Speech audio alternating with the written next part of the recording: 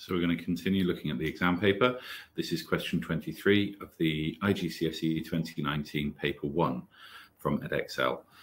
This is a question about arithmetic series. The clue is given right here. It says arithmetic series. There are some useful formulae at the front of the um, exam, so we should get those. Now that's useful, but we also need to remember that un, the any term in the series, is given by the formula where um, it's a plus n minus 1 times d.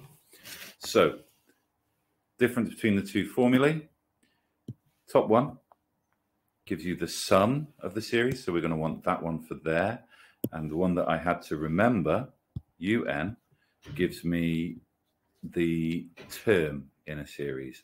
So un is the term, Sn is the sum.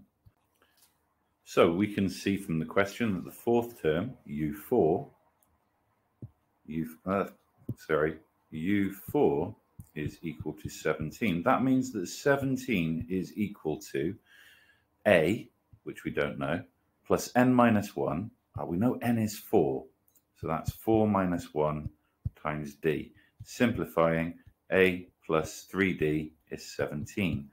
We also know that the 10th term, U10, is equal to 35, which gives us 35 is equal to the first term plus 10 minus 1, which is 9, times d. So that gives me a plus 9d. Now, if I take these two and write them next to each other, I can solve them like simultaneous equations. So let's take the this one first. Uh, a plus 9d equals 35. And then the other one, we have a plus 3d equals 17. We can do a subtraction and get a take away a, that cancels. 9d take away 3d gives me 6d. And 35 take away 17 is 18. So 60 is 18. d must equal 3. 6 times 3 is 18.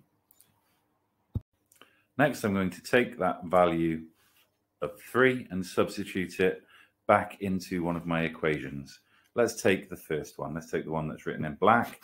So I can see that from this equation up here, 17 equals a plus 3d, but d is 3. So 17 equals a plus 3 times 3. So a must equal 17 take away 9, which is 8.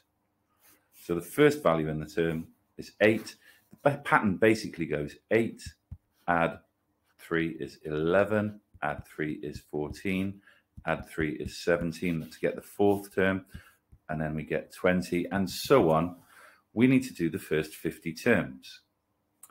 Okay, now that would be something that would be possible to do just by writing out all the numbers and adding them together, but not sensible.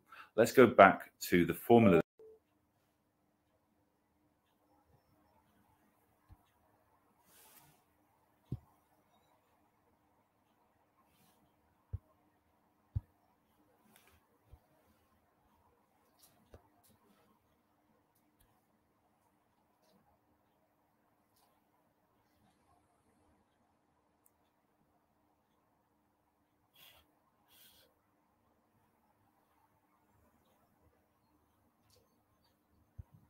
which is the formula given to us in the front of the textbook, uh, front of the exam book, the sum of n terms.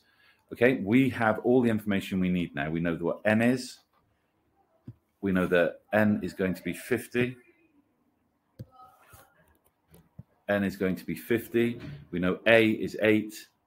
And we know that d is 3. So if we take that formula, we can then substitute that into the question for us, and we can do that. So let's have a crack at writing this out.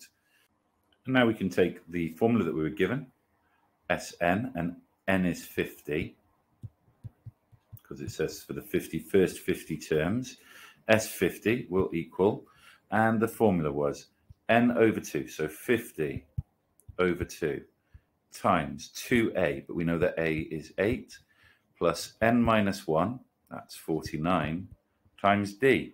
We know that D is 3. We just now calculate that, we get 4075. And that's the solution we're looking for here. Okay, good.